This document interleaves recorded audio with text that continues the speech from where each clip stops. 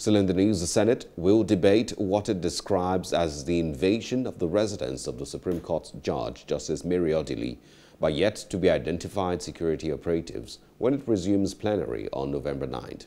The chairman, Senate Committee on Judiciary, Senator Opeyemi Bamidele, announced this to journalists during an oversight visit to the Chief Justice of Nigeria on Monday in Abuja.